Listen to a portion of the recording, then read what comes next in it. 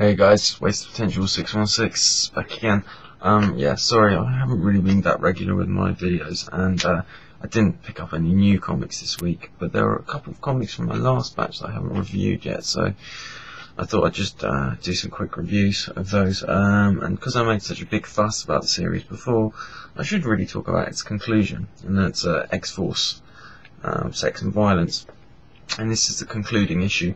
Um, yeah, this was a lot of fun. Um, to be honest, I thought it was the weaker of all three issues.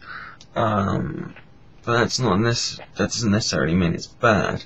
Um, I just, you know, it was the conclusion, and yeah, I felt it was a little bit by the numbers. Um, and there weren't really any surprises for me. I mean, there's a kind of twist in the end, but you you kind of see it coming. Um, but the thing is, with I mean, Kyle and Yost do a good job. It's um, it is it, it's written very well, and the character. I mean, it's it's so nice to have Wolverine written how I feel it should be written.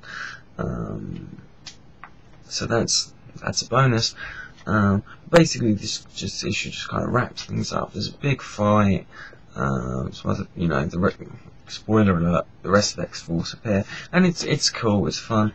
Um, basically, the big selling point is the artwork. Uh, Dell'Otto, um, Italian painter, did um, the Secret War uh, recently, the second Secret War, not the original uh, Secret War series. Um, just beautiful, beautiful work. Just so good to look at. I mean, I I end up rereading it and rereading it and flicking through and just looking at the artwork. And look at this beautiful splash page there. You can't really see it there, but you get the idea.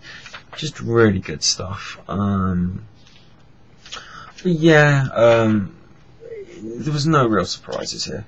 Um, but as I say, an entertaining read and, and a satisfying conclusion to the uh, to the series. Um, as I say, I'm interested to see what this new X-Force is going to be like, the Uncanny one with uh, Deadpool and and whatnot. Um, you know, uh, we'll see, we'll see. But yeah, an entertaining series, and you know, if you haven't been picking it up and you're a Wolverine fan, you should pick up the trade. Um, you get to read Wolverine the way it should be, other cool characters, and the artwork is just amazing. It really is just I, I can't praise it enough. Just really beautiful stuff. Um, I suppose we're going to talk about X Men Three, uh, Curse of the Vampires. Um, you know, it has Wolverine uh, going after Jubilee. Um, I'm spoiler alert. There's lots of spoilers. So I'm just going to basically say that. Well, before I say, this is good, but it's extremely predictable. Very, I mean, more so than X Force. Um, much more. It's very, very, very by the numbers. I mean, if you have any sort of knowledge of X-Men or, or you can kind of see everything coming. Wolverine goes after Jubilee. Um, she ends up on the side of the vampires. She turns him into a vampire right at the end. And, um, but, I mean, now I could be wrong, you know, but I predict that Wolverine's going to be a vampire, but um, it's going to seem he's turned bad, but then it seems then it's going to turn out that he hasn't, and, maybe, and probably Jubilee hasn't actually turned fully bad. Um, maybe you know Wolverine's healing factor is helping him sort of stave it off, and he was given an injection at one point, and I think it might be part of the plan that because he's got a healing factor, get you know use him as a mole. Um, so yeah, it's a very predictable, very by the numbers, but very fun at the same time it doesn't take itself too seriously. Um, you know, it's um, I mean, uh, what's his name? Uh, Gischler. He does a better job in this than, than fucking uh, Deadpool Corps. I mean, you know, this, this is fun. It's it's not revolutionary. It's not going to change comics. It's kind of a by the numbers um, X Men. But it kind of reminds me a little bit of the way X Men was written in the nineties, um, early nineties maybe. Uh, not all of the 90s because there were some bad points there. It, it, it's good. I mean, you know, you get to see Wolverine fight some vampires and um, there's some good dialogue between Cyclops and um, Dracula. You know, I mean, we know Dracula's going to end up helping the uh, X Men at some point to get his revenge on his son, and then turning on the X-Men at the last moment or something along those lines, you know. But um, an entertaining read. I'm going to stick with it, but just nothing groundbreaking, you know. Um, still on the vampire flex, um, Avengers 3.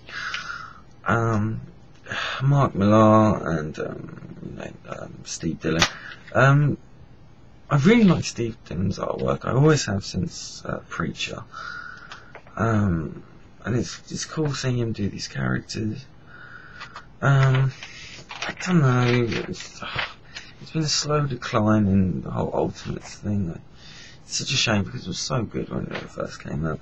Um, Millar's not doing a bad job. You know, he still does some cool scenes in there. There's a pretty interesting scene where Blade's um, interrogating a vampire with a priest, and um, and the Avengers eventually go after these vampires, and you know, it's it's, it's okay, but I just, I mean, I've been having a few money problems at the moment. I'm going to think I'm going to need to cut down my um, my order. I'm going to have to uh, do a culling of a lot of the comics I get, and I think this is going to be a victim. You know, I mean, it's it's it's okay. I, I just used to be such a big fan of Mark Millar. Um, this is just I, I do feel like he's just calling it in. You know, it's not as good as some of his previous stuff. Maybe if it was a different writer, I'd enjoy it more. But I think he's just raised the bar so much. I mean, the original uh, Ultimate series was so so good. Um, I mean, him and Bryan Hitch, it was such a good correlation, But um this is okay. Okay, it's not awful. I mean, a lot of people saying, "Oh, you know, this is crap," and, and Mark Millar. I mean, a lot of people criticizing Mark Millar for maybe he's writing for movies or just using shock tactics. And, yeah. There's an element of truth to that, but I don't think it's as bad as all of them. Anyway, this is okay, but I think I'm going to drop it, to be honest. Um, yeah, who knows when I'm going to pick up my comics. I've got quite a busy uh, weekend ahead. Um, yeah, going to go out raving with my girlfriend. Uh, so should be interesting. Although I haven't been to a rave in about two years. Um, used to be a big, big part of my life, but um, I don't know. I kind of resigned myself that I've kind of gotten a little bit too old for all of that. But um, fuck it, I think I'm gonna have a good time. And, uh, with a beautiful lady at my side, um, I know I will. So, anyway, um, yeah, that's that. Um, when I do get some more comics, uh, it's probably going to be like next weekend or something. Um, my comic shop kindly keeps my comics for me, so. Anyway, ta look after yourselves, and, uh, can't think of a witty thing to end this video with. Oh well, I'll give it some more thought next time. Bye.